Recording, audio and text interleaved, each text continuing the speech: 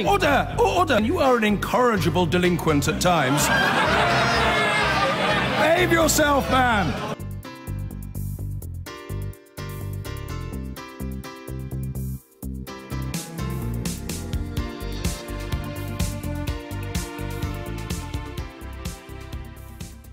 I first interviewed Emmanuel Macron in 2016 when he was a relatively unknown economic minister determined to swipe high-tech jobs from London. Since then, of course, he's torn up the political rulebook and romped to a historic victory in the French presidential elections. With Angela Merkel struggling in Germany, President Macron is widely seen as the leader in Europe. And this week, he came to talk defence and the migrant crisis with Theresa May at the Royal Military Academy in Sandhurst. I caught up with him there and I began by asking him whether he thought our Prime Minister could secure the deep and special partnership with the EU that she talks of. I do hope. I do hope because I think it will be good for the EU and for, for UK. She said a deep relationship, however, if the UK is, I imagine your view is if the UK is not going to be a member of the customs union or the single market or accept the four freedoms, it can't be that deep.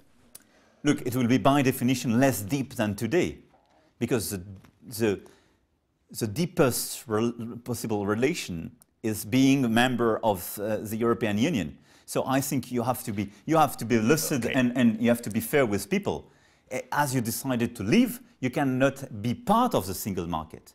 But in function of the na- nature of the negotiation, you can have some deeper relations than some others. For instance, we have a deeper relation with Norway than the, way, the one we have with Canada. So it depends on the, on on the outcome of this negotiation. But for sure, uh, except if you change your mind, but you, you will not be part of the single market, uh, you will, as you will not be part of the European Union. And in concrete terms, let's talk about what that might mean. Now, you've said in the past you can have Canada or you can have Norway, but you can't have your own special deal. Is that really fair, given how long Britain has been No, it's not a question to be fair or unfair. Uh, I take that as a reference, but for sure you will have your own solution.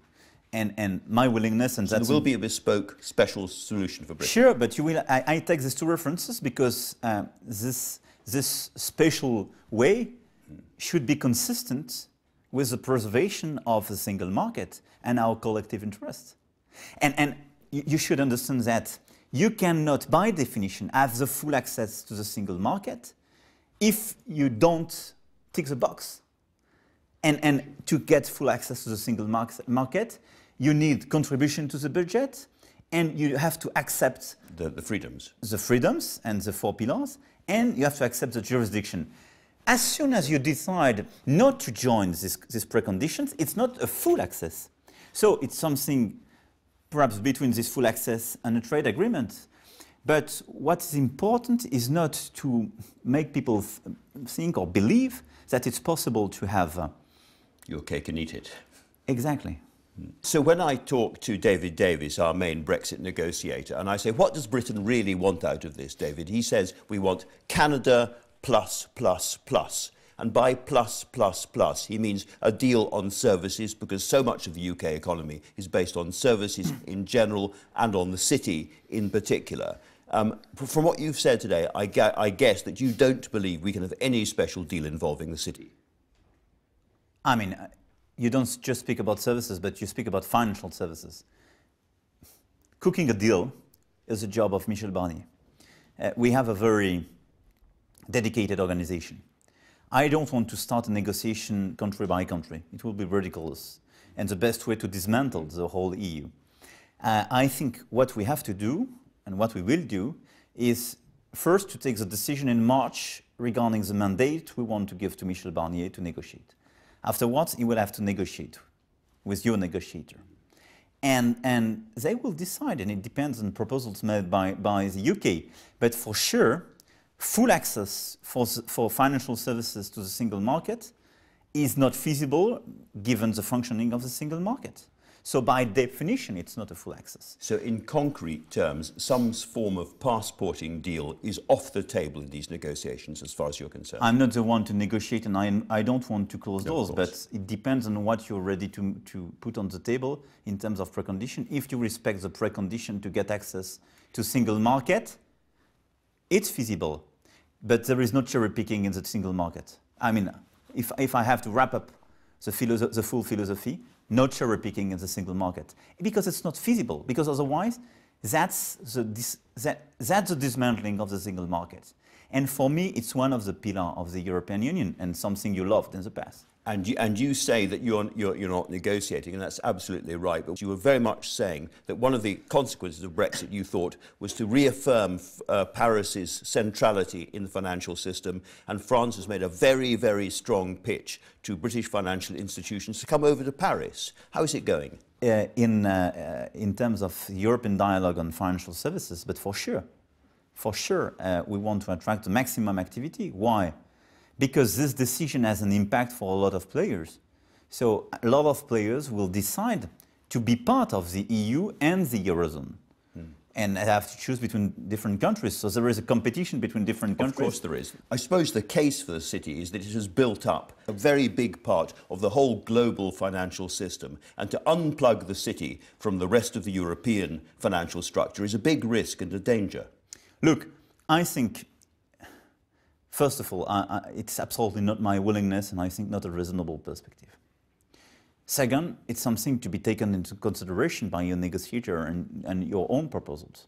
But my willingness is not to, precisely to unplug, as you say, uh, uh, the British city. I think it doesn't make sense because it's part of the whole fin financing of our um, European Union. But for sure, if there is no change in terms of full access to the financial single market, it doesn't make sense for the other. So uh, I want to preserve what we created post-World War. And, and, and, and what we created is, is this sophisticated organization called the European Union, which is for the very first time not an hegemony of one on the others, but a very concrete, democratic, economic, and human constructions. Why do you think the British voted to leave this sophisticated structure? Look, I'm not the one to judge or to comment uh, the decision of, uh, of your people, but my, my interpretation is that a lot of losers of this new globalization and this new system suddenly decided that it was no, no more for them. You always take a risk when you, when you, when you have such a referendum, just yes or no in a very complicated context. If France some... had had a referendum, it might have had the same result. Yeah, mm. probably. Probably. Uh, in, in, in, a similar context, but our context mm. was very, uh, very was ver very different. So I don't want I don't want to uh, to make any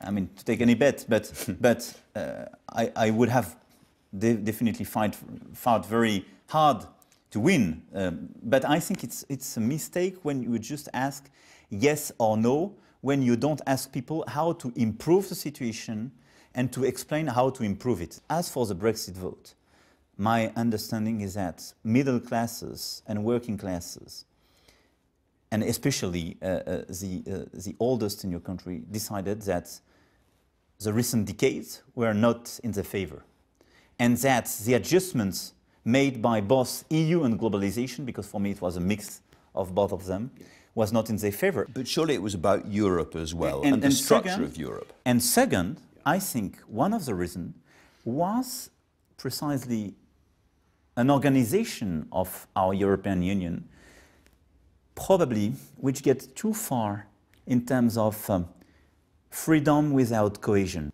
with, to, towards free markets without any rules and any convergence. And I have to say that your governments had some responsibilities in it. So I remember too 10, neoliberal, perhaps. But 10 years ago, ultra-liberals on totally and, and, and purely free market without any regulation. Because all your people saying the Hungarian workers or the Polish workers are much, much more favored than I am, it was exactly the debate we had in France 10 to 15 years ago uh, against some directives that a lot of your governments pushed at that time saying, guys, you are not free market. I do believe in free market. I do believe in, in, in, a, in a market economy, but we need regulation and convergence. Your vision seems to me to be deepening Europe. As a response to this, you, you want a single financial minister over the whole thing, more European taxes, more done at the centre. Again, is that not a terrible risk, given No. how many European people look at this and say it's too far away already. It's- No, I I- don't feel en- engaged. Because it's not just my view. I think what we need is, is first of all, to have a, much more protective Europe. Europe is something which will protect you on digital, environment, migration, collective security, and a fair organization. But my, I would say, on the mid to long run view of Europe is the following. I, I do believe that we have a European Union. We will be unhappily 27. But Inevitably, definitely. I mean, it's on your own. It depends on you. I, I mean, I do respect this vote. I do regret this vote. And I would love to welcome you again. I, I, I can say. Your, but, vi- your vision but of, my of a, vision, to be clear. of a different Europe. So, my, my vision, on the very short run, be much more concrete, less bureaucracy, and more concrete answer to protect people and address their issues. More sovereignty, more unity, more democracy. That's the recipe in order to succeed in Europe. If you lose your sovereignty and you don't protect people, they don't believe in you. If you are not based on a democratic approach, they will not follow you. If you are not following this unity, i.e., creating consistency uh, and convergence, they will leave. you said France is back. What did you mean by that? I mean that we are delivering reforms which seemed impossible for decades. This is, for me, the pillar because when you are not credible at home, no chance to be credible outside. You talk about values, which must involve presumably freedom of the press and human rights and so forth. Did you raise those with the, the Chinese president when you were talking to him? I last week? rose with all the leaders I met. In China, it's absolutely counterproductive to raise it during a press conference.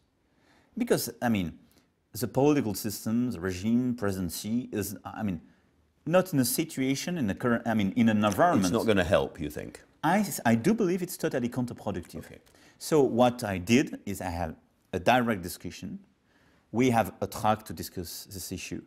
We've, we decided an organization, and I provided, I would say, visibility and, and, and the, the ability for him to be sure that this is not a, a diplomacy in front of the camera. But Let- I issued a very clear statement. Let me ask you, if I may, about What's a, that? yet another leader and wonder what you thought when you got up in the morning and read what President Trump, I can't say the word, had said about certain African countries, S-hole countries. He denies it, but he's, a lot of people say he used that word. And among the African countries who were outraged and very offended by that were many Francophone countries, many French-speaking countries in Africa. I wonder, did you share their outrage? For sure. So For sure, it's not a word you can use. And, and, and, and if we want precisely to build peace, development in this country, and a respectful relationship, you can't use those kind of words. but by definition, and I think a lot of our issues in both in Middle East and in Africa is due to a lot of frustrations, due to a lot of humil- past humiliations. Humiliation, yeah. And, and, and we have to understand that. And, and I do believe that we need, we have to respect all the countries. That's, Hmm. are that's what we owe them, and, and, that's, and, and, and, and that's much more efficient. So I have a very direct relationship with President Trump. We have a very good relationship. You sat down with him for dinner at the top of the Sure. Eiffel Tower. I wonder what you make of him as a person, having come across him closely. Look, I, I think he's, uh, he is not a classical politician. So he, first of all, he was elected by the American people. He's the president of the United States. And, and that's a great country and that's a great ally. So I want to work with him, and I think we built a very strong relationship. We disagree on several topics. Sure. Uh, I call him very regularly. I am always extremely direct and frank. He is. Sometimes I manage to convince him. And sometimes sometimes. I fail. Do you, do you wake up in the morning thinking, what has he tweeted this night? No, no, because I, I think we should not- overplay the situation uh, and, and, and, and the tweets. Because that's, I- I- that's a I'm sort, sorry, I'm asking that- you- That's I'm- a sort of, of, of, of mix between personal and political reaction. And I think it's not feasible when you're president of, of a republic like the US Republic, but to, like re- the to French one. respond too much like that. But the reason I'm asking, with a slight smile on my face, but it is very, very serious. We've got something like the North Korean situation. When Trump basically says, my nuclear button's bigger than your nuclear button, a lot of people in the world think this is just slightly unhinged and very dangerous. Yes, but the best answer you can provide to that is what? Just to say, we have to work very closely and seriously to force North Korea to come back to the table of negotiations. Mm. We have to follow the UN sanctions and implement them. And, and the, critical, the critical country in order to deliver is China. Absolutely. And that's, that's what we discussed with President Xi. And so talking about bringing countries it's just back, calm down everybody. Do you think that there is any chance at all of persuading the Americans to come back to the table on the Paris climate change agreement? Uh, first of all, I, I, I, don't think there is any option to come back to the table of negotiations to the Paris Agreement. I've always been very clear. It's negotiated and signed. It's just deciding to sign what is, what is done. Why? Because to we sign it then? But I mean, we can? negotiated. Mm. 100 and more than 180 countries signed and are being ratifying. Mm. Uh, come on, we will not renegotiate for one people. So I do believe that's a big mistake. I told him, but there is no new negotiation. You okay. join or you don't join. China decided to, to remain in the loop, and, and we will deliver. I think we, we have to accelerate. But what I see is that private sector and states in the US are following this line. They are trying to comply with the agreement. So we will do it. Very final question. You said you were going to be a Jupiter like president. What did you mean by that? I, I think I, I never used like that this expression. When you preside, you have to preside, it's different from governing, and you have to be, to avoid permanent comments, to avoid a sort of um, day-to-day presence without strong decisions. You have to have a bit of élan, a bit of gloire. I, I, I would not say that exactly uh, following You need efficiency authority, humanity.